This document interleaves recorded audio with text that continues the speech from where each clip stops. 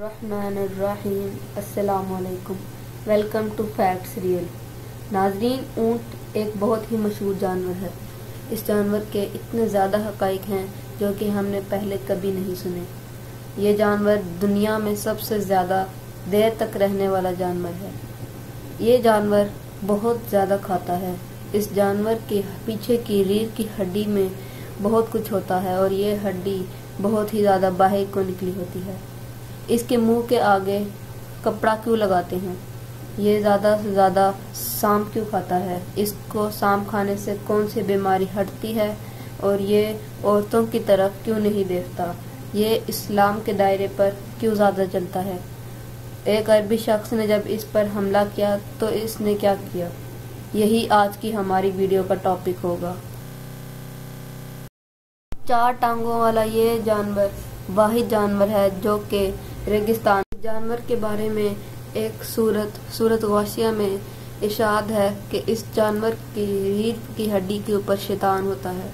इस हड्डी में शैतान होने की वजह से अल्लाह ने इसकी हड्डी को कुछ इस टाइप का बनाया है। कहते हैं कि जब भी तुम ऊँट पर बैठो तो पहले कलाम पढ़ो, अल्लाह से डरो और अपनी कैफियत का इजहार ना करो। काश हम लोग ये करें, क्योंकि जब हम ऊँट पर बैठते हैं तो हमारे ऊपर एक शैतान का ख़तरा होता है, जिससे बचना इंतहाई ज़रूरी है, अगर तो हम इस्लाम पर चलना चाहते हैं। नाजरीन, ऊँट दुनिया में जब से आया है, इसने इंसान की बहुत ज़्यादा मदद भी करी है। यह जानवर औरतों से बहुत ज़्यादा पर्दा करता है। अल्लाह ने इसको बहुत सारी एबिलिटीज से नवाजा है। ये जानवर एक वाहिद ही ऐसा जानवर है जो कि रेगिस्तान पर चले और ये जानवर वाहिद ऐसा जानवर है जो कि चारा प्लस रेत खाता है।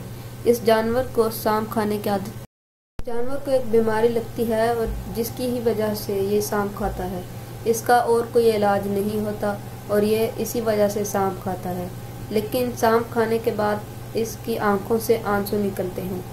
इसका कहा जाता है कि ये आँसू बहुत ज़्यादा कीमती होते हैं और इनको प्रॉपरली रेस्क्यू भी किया जाता है। इन आंसुओं को जहीं पर भी गिरने नहीं।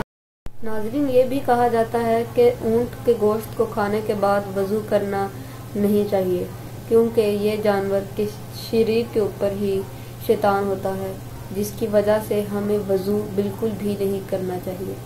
इस जानवर के गोश्त को खाने के बाद भी वज़ू करना मना किया गया है और इसके पास रहने की वजह से भी वज़ू करना मना किया गया है। क्योंकि इसके गोश्त के अंदर भी कुछ ऐसे ही चीज़ें पाई जाती हैं, जैसे कि इसकी रीढ़ की हड्डी पर। नाजरीन, फिर भी इसका गोश्त हलाल रखा गया है। इसकी भी वजह यही है कि ये जानवर एक पूरी तरह इस्लामी जानवर है, इसलिए इसको गोश्त खाने का हमें हुक्म दे दिया इसके अलावा हमें ऊँट को पर्दे में भी देखा गया है। ऊँट अपने मुँह के सामने एक बहुत ही अजीब सा मास्क पसंद करता है। इस मास्क को लगाने की एक बड़ी वजह यही है कि ऊँट इसको पसंद करता है।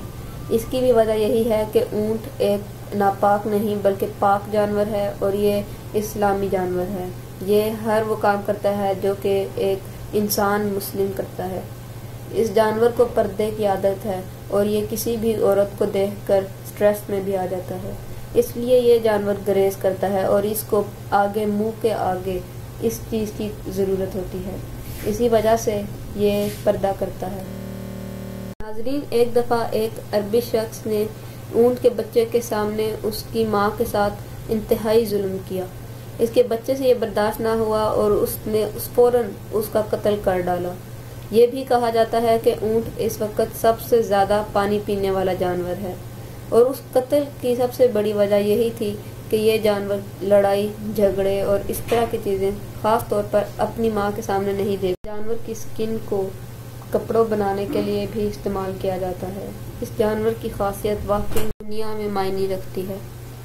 नाजरीन, आज की इस वीडियो को इधर ही ख़त्म करते हैं और इसी तरह की वीडियो देखने के लिए इस चैनल को सब्सक्राइब कर डालिए। क्योंकि हम ऐसी ही इंफॉर्मेटिव वीडियोस लाते रहते